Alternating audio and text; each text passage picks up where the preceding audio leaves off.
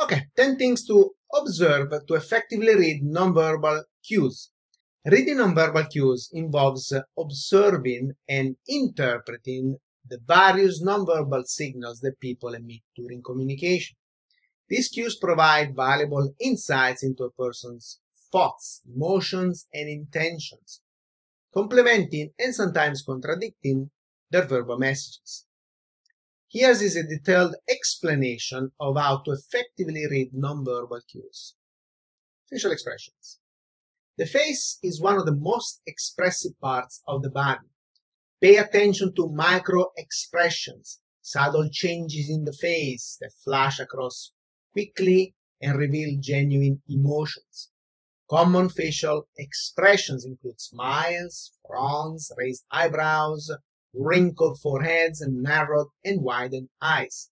By observing these cues, you can gauge a person's emotional state and reaction to different situations.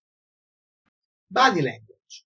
The body conveys a wealth of information through its posture, gestures, and movement. Notice how individuals hold themselves, whether they are open or closed off, relaxed, tense. Gestures such as hand movements, uh, arms crossed, leg crossed, uh, fidgeting can reveal someone's level of comfort or discomfort. Pay attention to the direction of the body as it can also indicate their focus or interest or lack of, facing away, for example. Eye contact. Eye contact plays a crucial role in nonverbal communication. It can signal engagement, honesty, confidence, or even deception. Notice if someone maintains direct eye contact, or avoids eye contact, or frequently shifts their gaze. Be aware that eye contact norms get different across cultures, so it's essential to consider cultural context when interpreting these cues.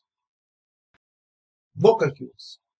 Nonverbal vocal cues, such as the tone of voice, the pitch, the volume, and the speech rate greatly impact communication.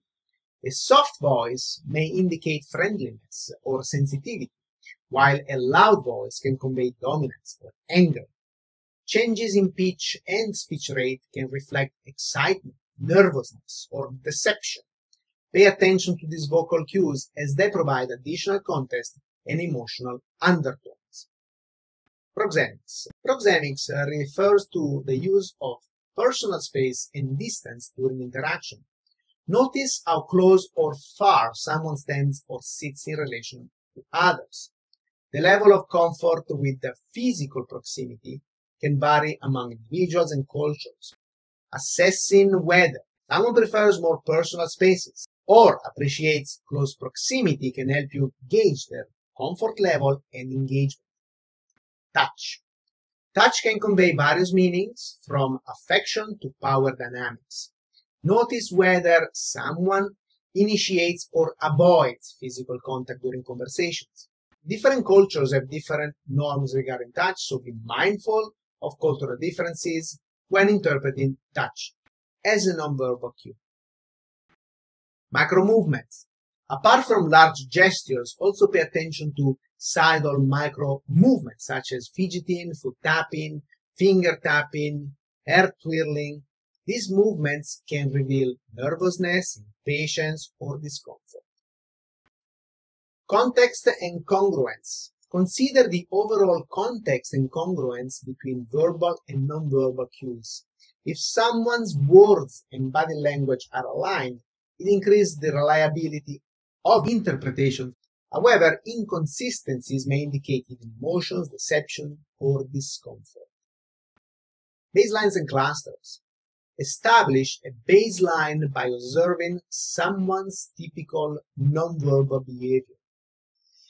This baseline helps you recognize deviations or changes in their behavior that may signify shifts in their emotions or thoughts. Look for clusters of nonverbal cues rather than relying on individual signals. Multiple consistent cues can provide a more accurate understanding of a person's nonverbal communication. Cultural awareness.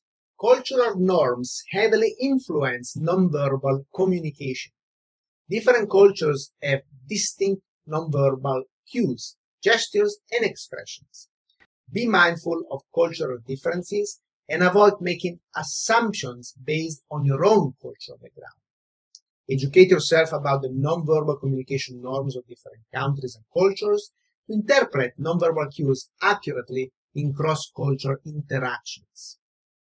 Remember, reading nonverbal cues requires a combination of observation, context, empathy, and cultural sensitivity. It is important to be mindful of individual differences and consider the overall context when interpreting nonverbal signals.